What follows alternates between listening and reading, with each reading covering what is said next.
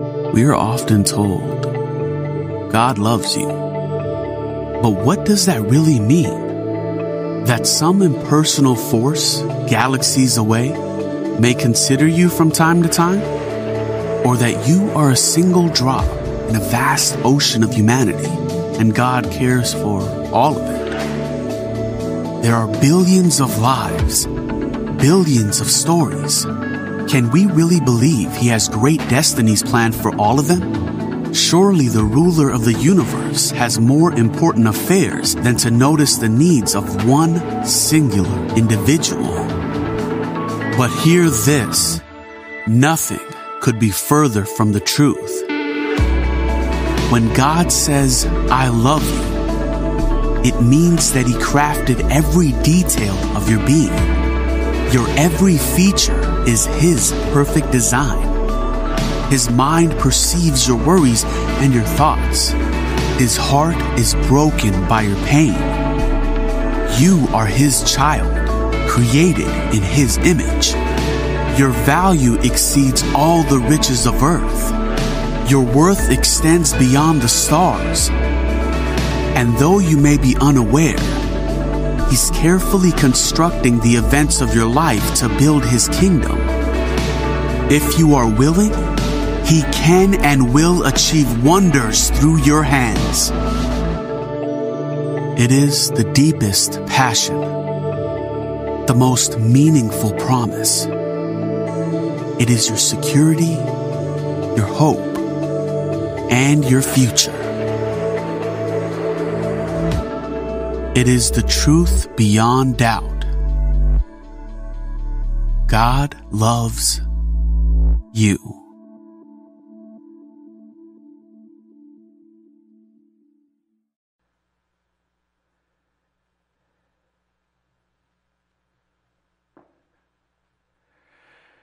Good morning and welcome. I am so glad that you joined us from your home or wherever you may be today for this time of worship. And as that video message that you just watched reminded you and me of, God loves you. That love has made him do everything necessary to save us and to make us his very own dear, precious children.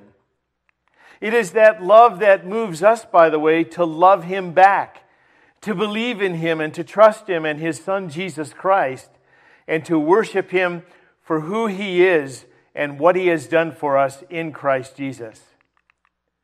Today, by the way, we are observing the festival of Christ the King. This Sunday completes the year long cycle of what historically is known as the church calendar year.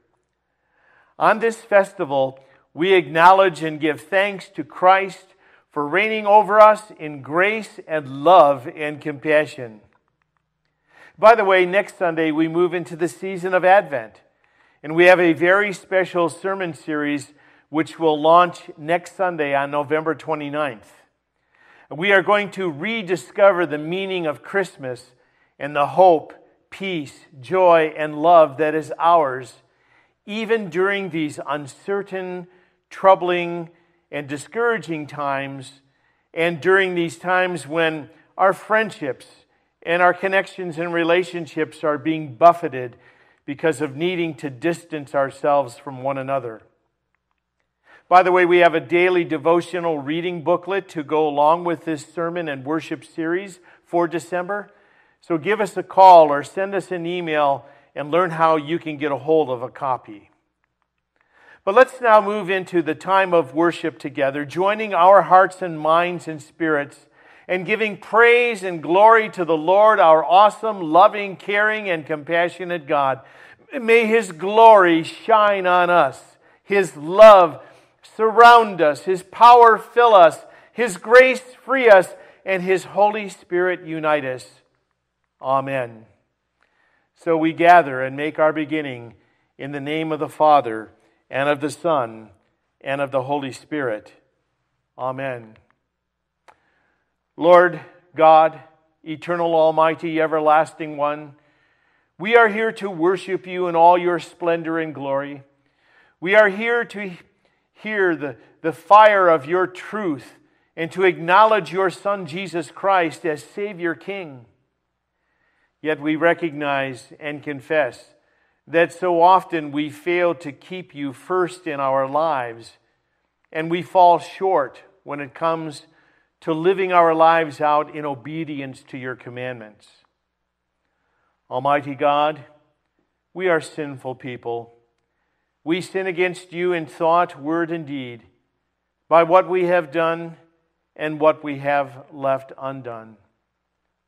We remember that it was for our sins that you sent Christ to a cross to die. And it was for our justification that you raised Christ from the dead. Forgive us our sins for the sake of your Son, Jesus Christ. Purify our hearts and minds by your Holy Spirit, and fill us with your goodness, so that we seek always to love and to follow you. Amen. God has promised forgiveness of sins to those who repent and turn to Him. He is faithful to forgive us and cleanse us from all unrighteousness. For the sake of His Son Jesus Christ, God has forgiven you all your sins. May He keep you in His grace by the Holy Spirit, lead you to greater faith and obedience, and bring you to live with Him forever through Jesus Christ our Lord. Amen. Our scripture praise comes from Philippians chapter 2, the ninth and tenth verses. God has highly exalted Christ Jesus and bestowed on him the name that is above every name, so that at the name of Jesus every knee should bow in heaven and on earth and under the earth, and every tongue confess that Jesus Christ is Lord to the glory of God the Father. Amen.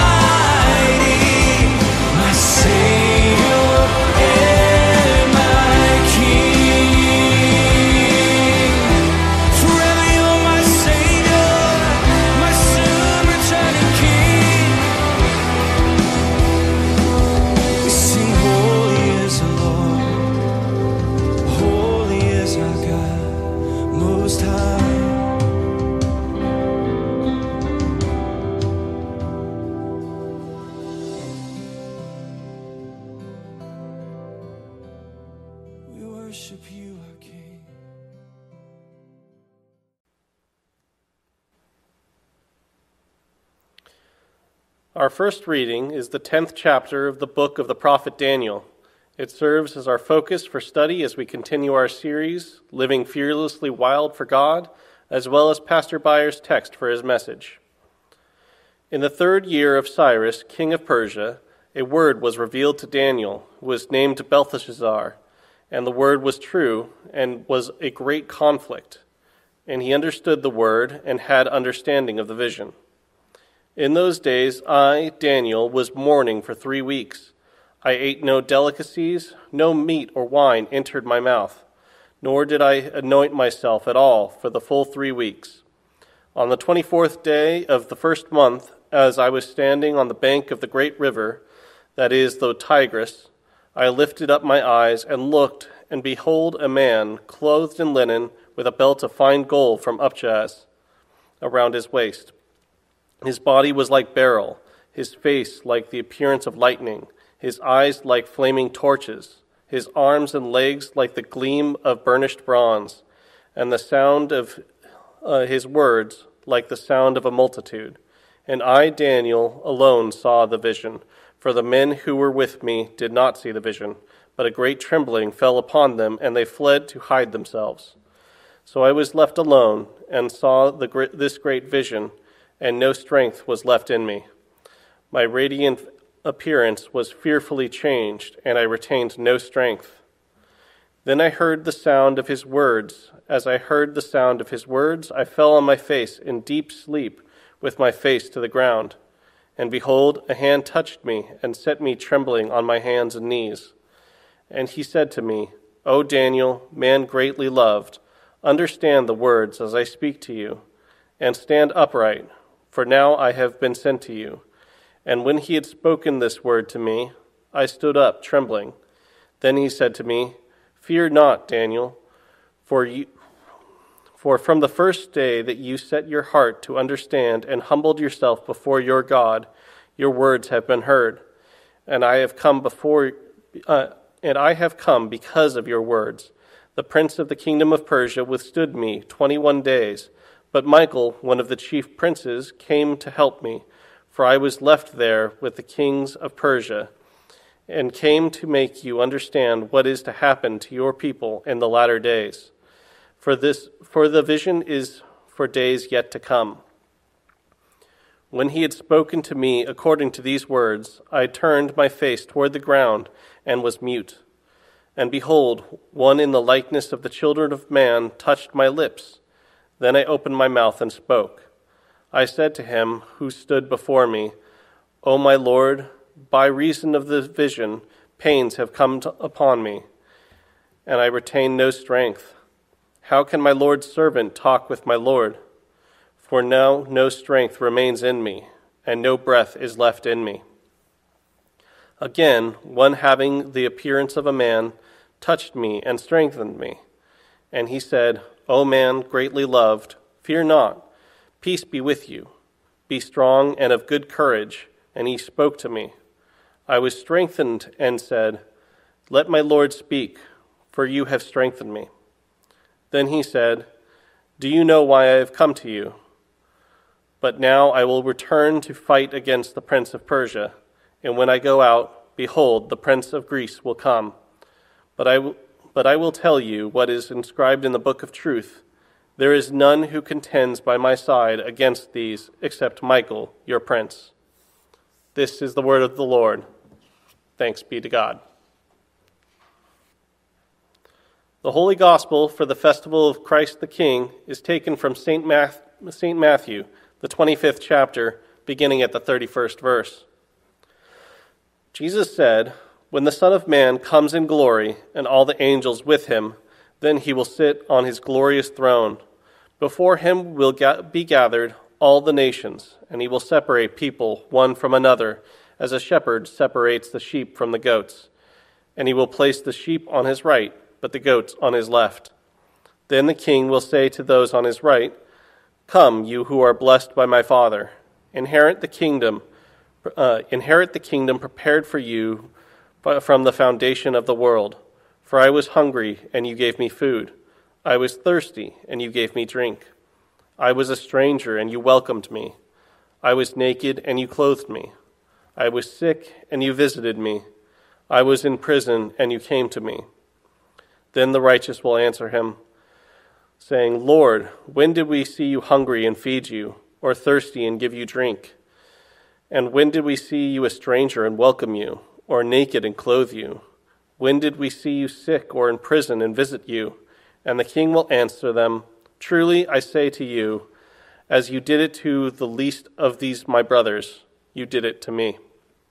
This is the word of our Lord. Thanks be to God and praise be to Jesus Christ, our King. Amen. Good morning, everybody, and welcome to the St. Mark's Kids Chat. A um, couple of announcements before we get started. Um, there was a few things that we handed out at our Fall Family Fun Day, um, which was on Saturday. If you were not able to make it there with your kiddos, um, we have some things that you can swing by the church and pick up. Um, the first is this little Christmas hidden pictures activity book. It has um, it's like a fun coloring book where it has a whole bunch of hidden things in here that you can find on the page. It's lots of fun. Um, we also made for you guys um, something that you can put together at home. Um, this is a little um, paper advent chain. So it has a little star at the top, and then you add a new loop each day, um, starting on the first day of Advent. It's kind of like a countdown until Christmas. Um, and then we also have an Advent calendar that we will be handing out to everybody as well. So if you didn't get a chance, um, swing by the church and pick it up, or you can call the church office and they can mail it to you. Um, so let's get into our lesson. So it, we are in Genesis chapter 21, verses 1 through 6, and it's all about of um, the story of when Isaac was born. So do you guys remember who Isaac is? Yeah. Uh-huh. Who's Isaac? Um, Isaac is Abraham's son. Abraham, yes, Abraham and Sarah's son. So um, finally, they had a baby. And how old were they? Do you guys remember how old they were? Mm, hmm? They were old, right? 100. Yeah, yeah. Abraham was 100 and Sarah was 90 years old, right? So remember last week when we talked about those three visitors that came and visited Abraham and they told them, they said, I'm going to come back in a year and Sarah's going to be 90 years old and you're going to have a baby of your own flesh and blood. So, do you remember what Sarah's um, reaction was to that? Sarah laughed. She did laugh. She did laugh. And did you know that it's kind of interesting that if you um, the the name Isaac actually means he laughs. That's what that means. Isaac. The name Isaac means he laughs. So, um, which is kind of interesting because you know Sarah at the time she kind of had like a kind of like a disbelieving laugh, like like a nervous laugh, right? Like, wait a minute, wait, I'm going to have a baby at 90 years old. It was almost like she couldn't believe it, right? So, but also she was like, that's but also, impossible. Well, yeah, I mean, right? But are are things impossible for God? No. No, exactly. So Sarah had that kind of that nervous, you know, disbelieving laughter um, but when Isaac was born, he brought a whole different kind of laughter, right? He brought that joyful laughter. Like, have you guys, you guys have probably seen little babies, right? They're so cute when they're born, like when Max was born and when Sawyer was born. You guys brought so much joy and laughter to our lives. And so um, that's why they named him that, was um, he laughs because everyone was kind of just like in this joyful laughter that Isaac was born. He was such a gift. So, speaking of gifts, um, I want you guys to come have a seat here down here, and we're going to do a little activity about gifts. So, I'm going to bring our little camera down here. Alrighty.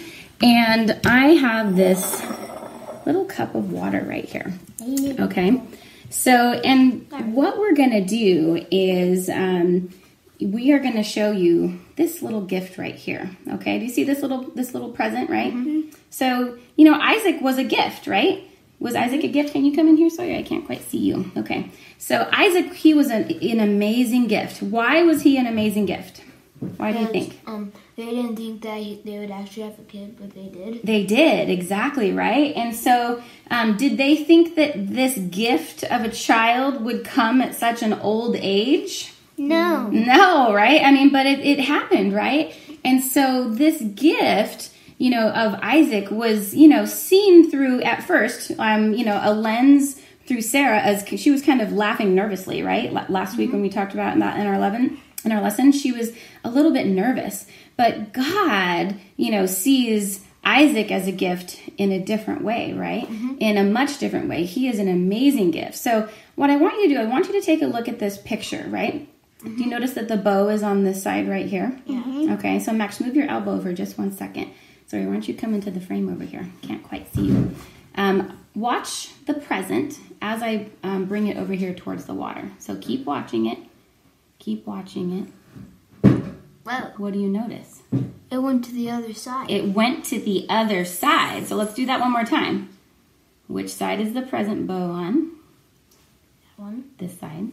And then watch it as we go into the water. It goes to the other side. It goes to the other side. So, can we, this just reminds us that sometimes we see gifts differently than the way God does, right?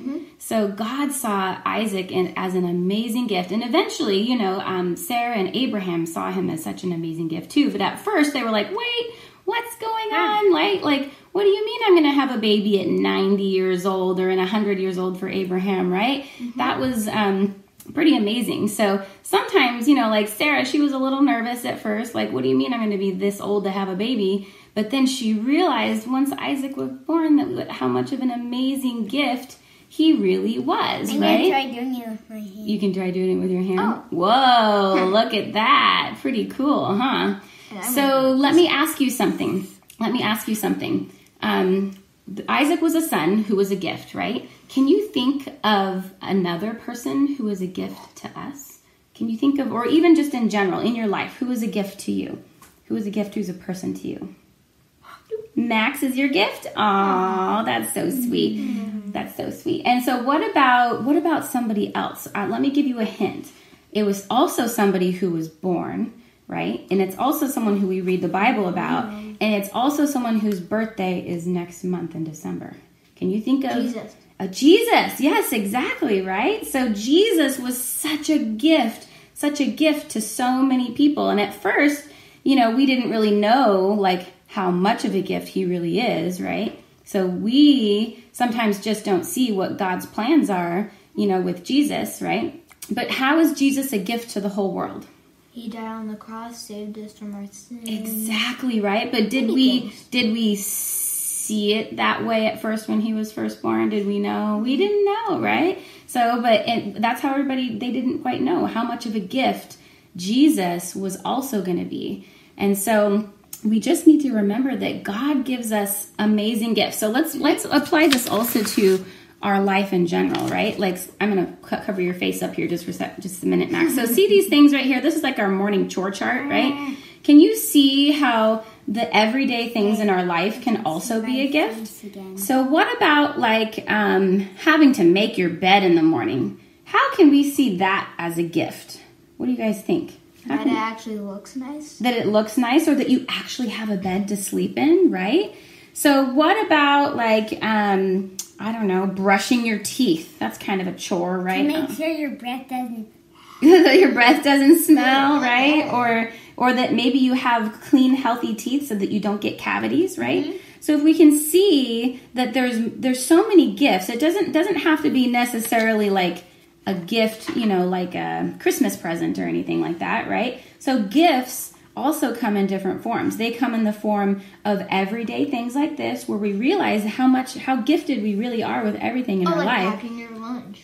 packing your lunch so that you have something to eat, right? Mm-hmm. And then we also see that people are a gift, right? Like you mm-hmm. guys are a gift, right? From God to us. And mm-hmm. Jesus is also our gift, okay? So I want you guys to keep that in mind as you go out there and remind everybody just how much of a gift Jesus is to us. Okay, everybody, see you later. Bye. Come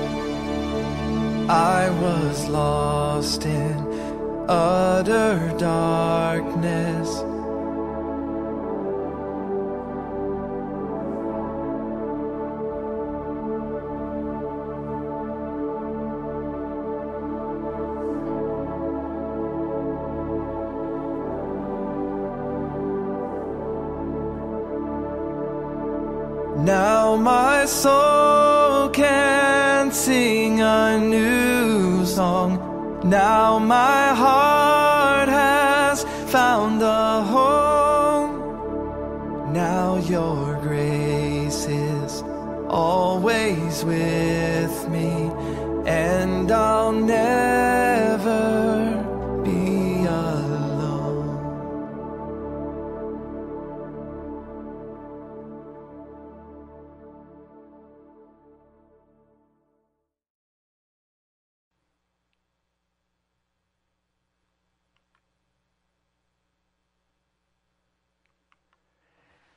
Grace to you and peace from God the Father, the sovereign and mighty Savior, and his Son Jesus Christ our Lord, ruler, caretaker, preserver, and redeemer, who by his death and resurrection has made us his brothers and sisters and heirs of his heavenly treasures, and the Holy Spirit, who makes his dwelling in us who strengthens the faith that he is, has established in us so that we are able to endure in times of trial and are continually empowered to share his redemptive and restorative love with all people. In chapter 10 of the book of Daniel, we encounter a fourth vision that God gives to Daniel. It is a rather long vision that will actually continue to unfold and give interpretation to in chapters 11 and the final chapter of Daniel 12. So it is appropriate for me to go ahead in this message today to take a look at the whole of the vision spread out over these three chapters in this one concluding sermon on the book of Daniel. The vision, by the way, is all about preparation. God gives Daniel this vision in order that he prepare Israel and the church, which is in exile, to walk through significant trials that are coming their way in the future. The message of this vision presupposes a paradoxical truth. That truth is this God greatly loves us and yet he allows trials and hardships to come upon those he loves.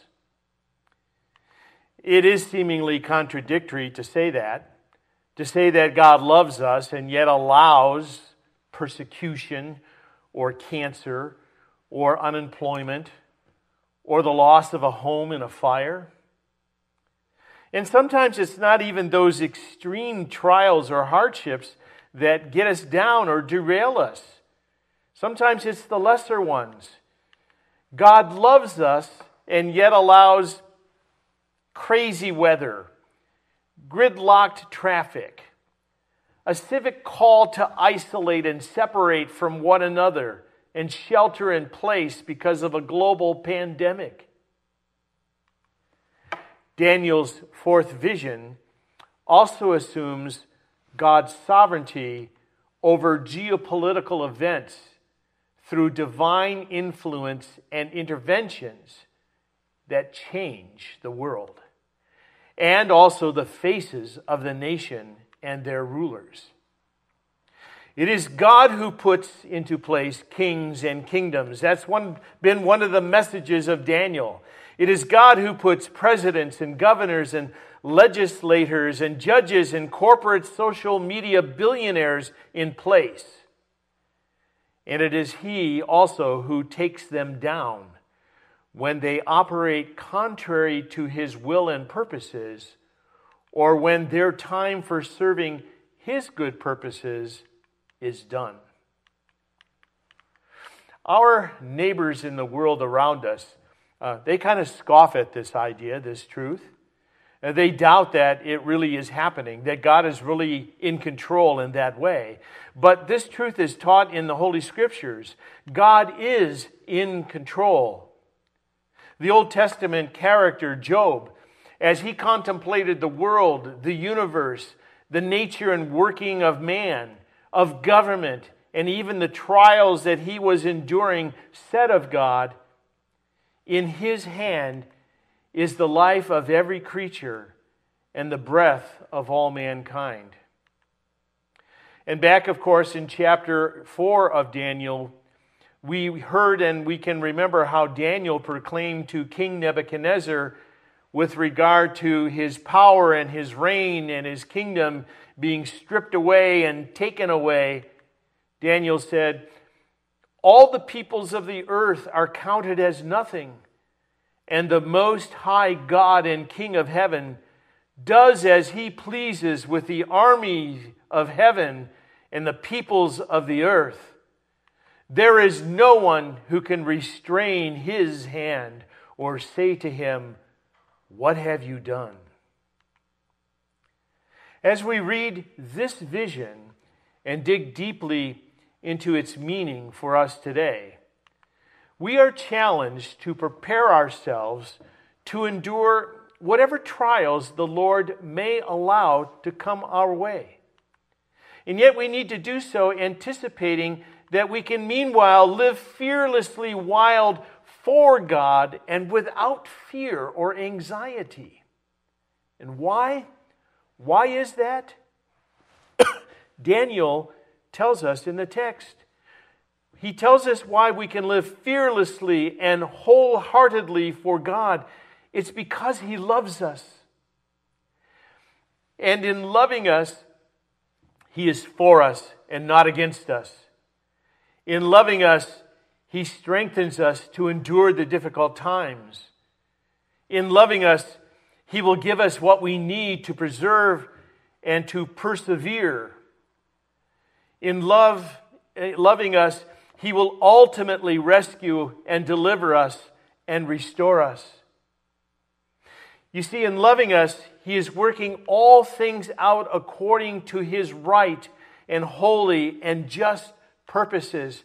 And His purposes are always moving things along to be worked out for our good, even when some of those things are not so good and trials come and troubles come our way.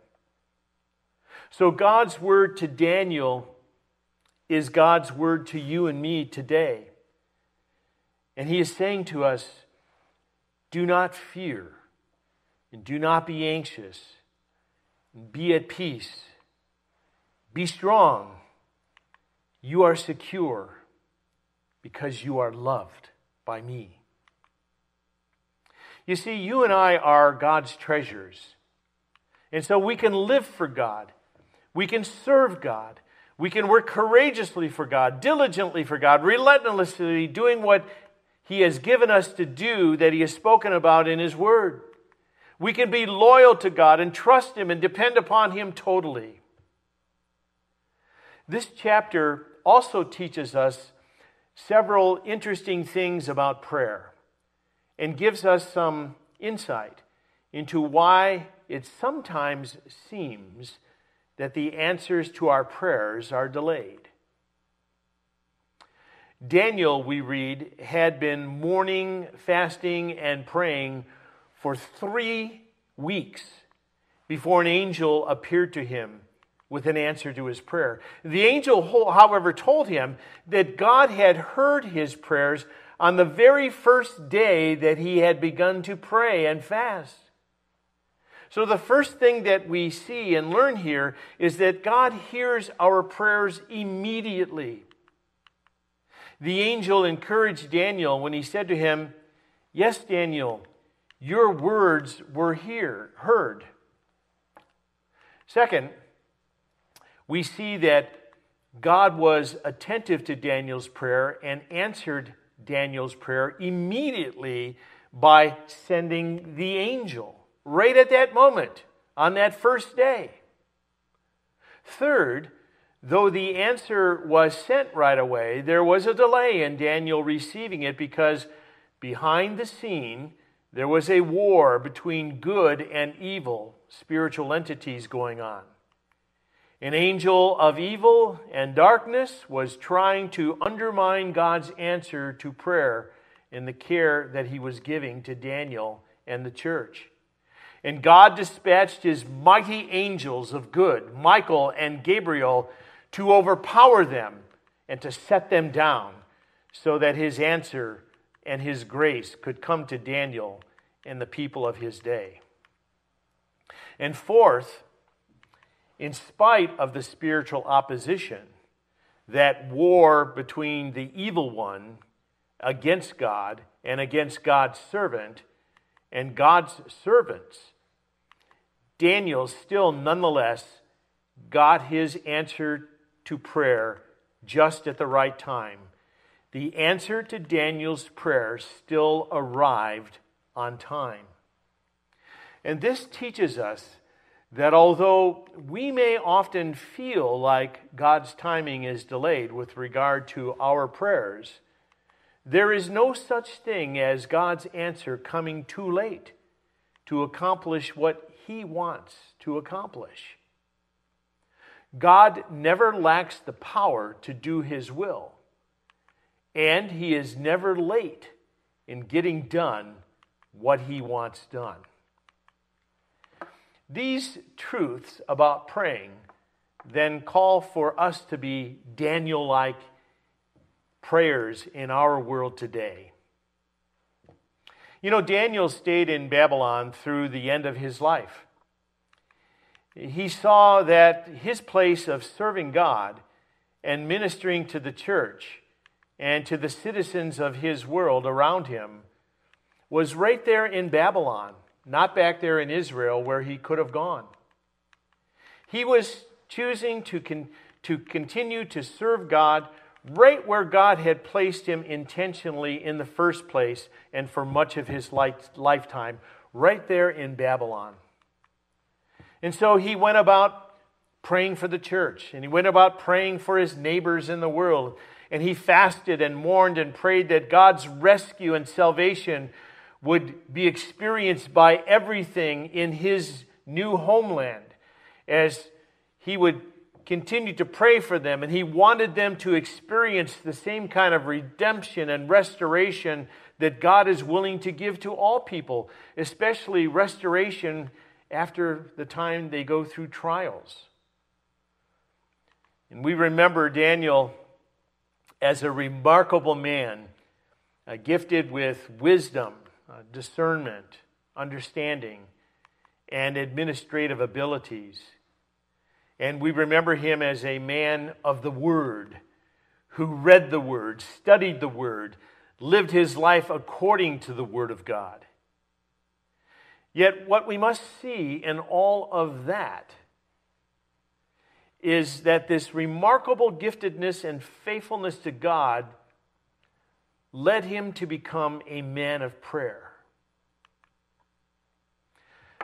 Let me share a few concluding thoughts and applications that have emerged from the book of Daniel as we have studied and dug deeply into it over these past two months. And these thoughts, by the way, for me are like uh, icebergs. Uh, we have only seen the tips of something that is so much bigger and more formidable. The top of the iceberg, which we can see and do know and understand, is extraordinarily helpful to us, useful and inspiring.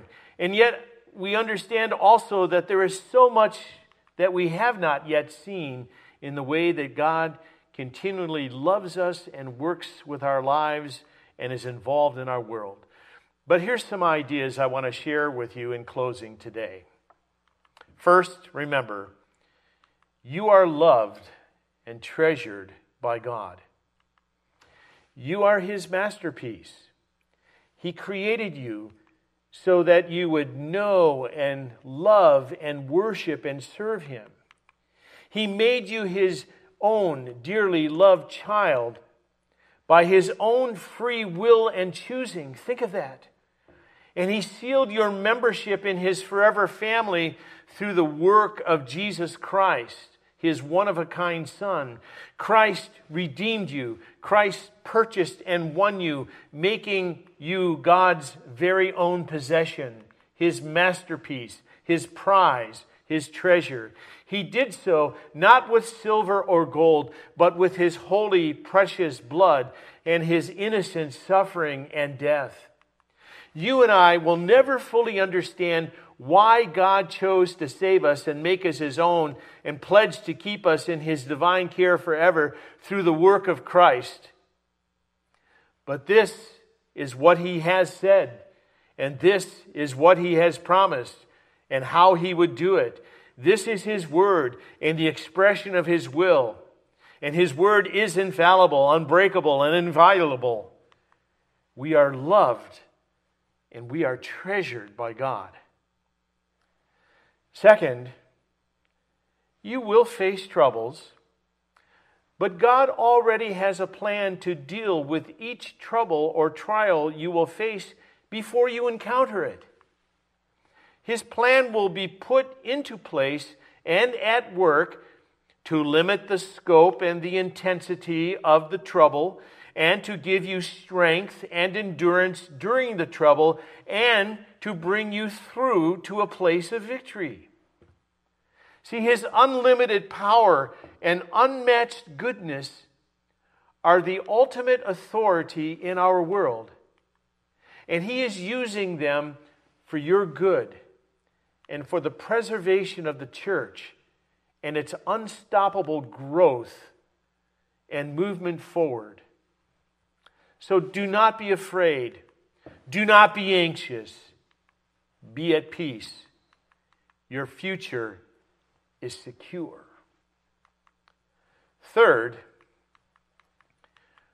proceed with your life and the work God has given to you. In response to one of Daniel's questions, Gabriel, the angel, the messenger, told him that the answer would be revealed at the appointed time. And that's all he really needed to know about the matter. Daniel wasn't therefore to waste time in pursuing the answer to his question, nor was he to sit by and simply wait for the fulfillment of all prophecies so that they would come true and he would see it. Rather, he was to go his way, the text says, get on with his life and serve the Lord to the best of his abilities. You know, Daniel was a teenager when he was taken to Babylon from Jerusalem in the year 605 BC. And he served successfully for at least 60 years. 60 years under four different powerful pagan rulers.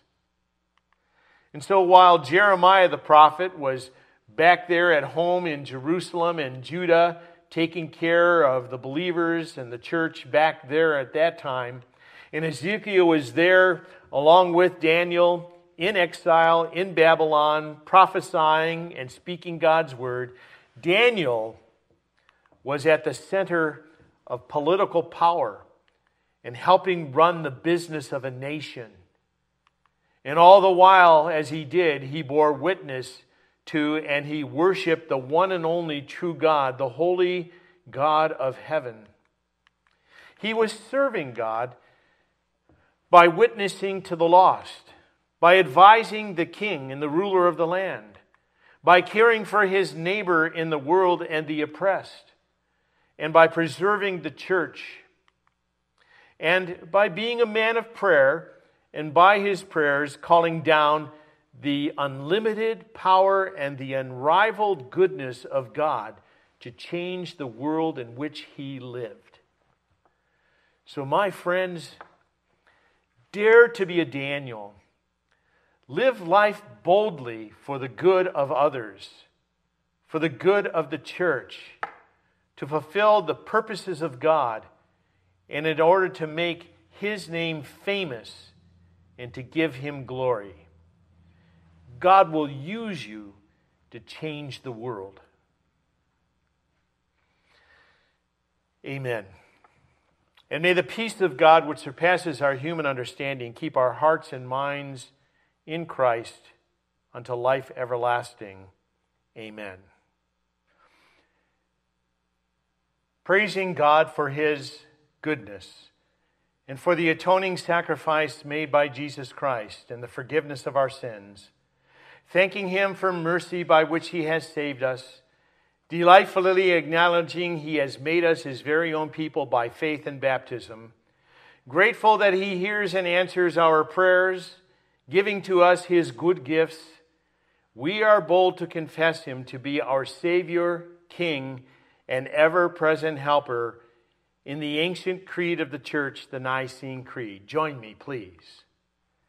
I believe in one God, the Father Almighty, maker of heaven and earth, and of all things visible and invisible, and in one Lord Jesus Christ, the only begotten Son of God, begotten of his Father before all worlds, God of God, light of light, very God of very God, begotten, not made, being of one substance with the Father, by whom all things were made, who for us men and our salvation came down from heaven and was incarnate by the Holy Spirit of the Virgin Mary and was made man, and was crucified also for us under Pontius Pilate.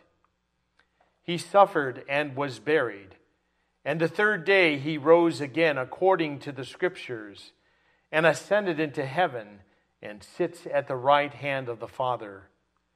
And he will come again with glory to judge both the living and the dead, whose kingdom will have no end. And I believe in the Holy Spirit, the Lord and giver of life, who proceeds from the Father and the Son, who with the Father and the Son together is worshiped and glorified, who spoke by the prophets.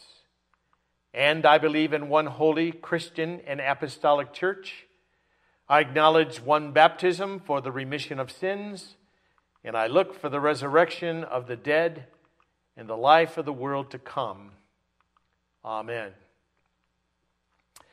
My dear friends, this is the time when, if we were gathered here in God's house together, uh, we would continue our worship by giving opportunity for all present to offer their gifts to the Lord as a gift of worship.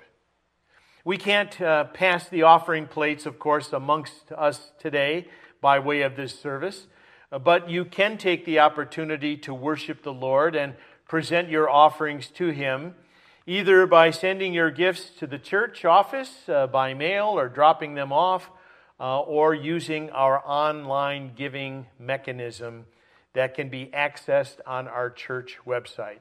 Your ongoing generosity and your support the giving of your tithes and offerings allows us to continue our ministry to one another as members of the body of Christ, as well as sustain our mission to the world around us, sharing the redemptive and restorative love of Christ with our neighbors, and also responding in compassion to those who are in need. So thank you.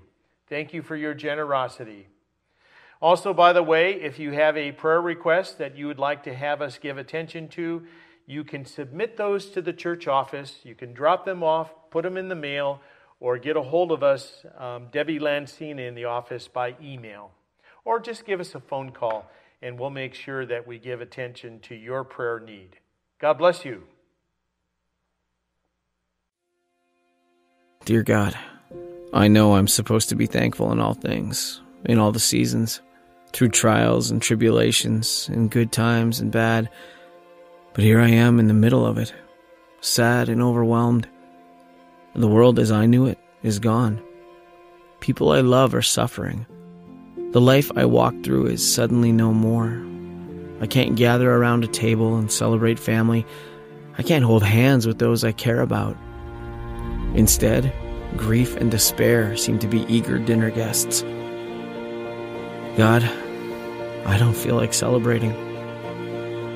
But I sit at my table and I close my eyes, listening for that still small voice, the one that always manages to rise above all the noise of this life.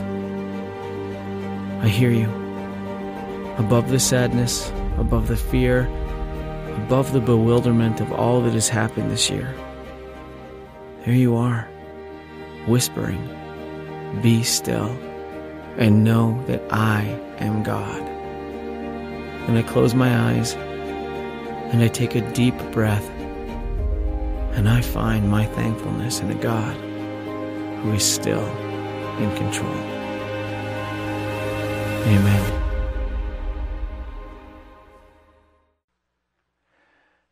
Let us pray. Almighty God, Ancient of Days, Sovereign Lord and King, Abba Father, we thank you for your unfailing love, your never ending mercy, and your indefatigable compassion toward us. And we thank you for establishing with us an everlasting covenant through the finished work of your Son, Jesus Christ. We rest secure and content in your unconditional love, your perfect peace, and your sovereign rule. Increase our faith and trust in you so that when trials and storms, turmoil, or distressing circumstances threaten to shake our faith or remove our hope, help us to cling to your promises, which are unbreakable and indestructible. Thank you for forgiving our sins, for not treating us as our sin or sinfulness deserves. Thank you for covering and keeping us in your grace. Thank you for giving us your Holy Spirit that drives us to love you for having first loved us. We praise you for your goodness and provision that sustains and preserves our lives day by day, and pray that you will care for the ill, sick, and afflicted. Grant them healing, health, wholeness, and well being in body, mind, and soul. Bless us with treatments and remedies that help rid us of disease and illness. Sustain and preserve our lives according to your good will and purposes. Be with the elderly, the weak, and the infirm, keeping strong their faith and hope in you for the sustaining of their lives now and for the renewal of life that will come to them in heaven. Console those who mourn, comfort those who have suffered loss be an ever present companion to the lonely. Care for the needs of the poor, hungry, infirm, homeless, and the helpless. And use us as your instruments of mercy and compassion as we endeavor to share your redemptive and restorative love with all people. Direct those who govern over us by your word and will, that we may be blessed in our country, state, and community, and that we may live in peace and in a spirit of mutual respect and kindness toward one another. Defend us against all evil and from the powers of this broken world, including fire, earthquake, civil unrest, injustice, terrorism, racism, and violence. Give us the attitude of gratitude for all the blessings you have lavished upon us and a spirit of generosity and cheerful giving as we invest the treasures that you have given to us in the work and mission and ministry and the extension of charity of your church. Abba, Father, giver of every good gift, also grant all that we would need to sustain our lives, that we may continue to love, serve, and give you constant glory and honor, and to your great and holy name. Lord, in your mercy, hear our prayer. Into your hands we commend all these for whom we pray, trusting in your mercy through your Son, Jesus Christ our Lord. Amen. And now, according to his promise, and as he has taught us, we are bold to pray. Our Father, who art in heaven, hallowed be thy name. Thy kingdom come, thy will be done on earth as it is in heaven. Give us this day our daily bread, and forgive us our trespasses as we forgive those who trespass against us. And lead us not into temptation, but deliver us from evil. For thine is the kingdom, and the power, and the glory, forever and ever. Amen. Go now in the peace and love of Christ. Have courage and hold on to what is good Strengthen your fellow believers. Help the suffering. Open doors of faith by telling the good news. Declare the great things God has done for you. Be a light to the nations, that his salvation may be made known to all the earth. Serve the Lord with gladness. In the grace of our Lord Jesus Christ, the love of God the Father, and the communion of the Holy Spirit abide with you. Amen.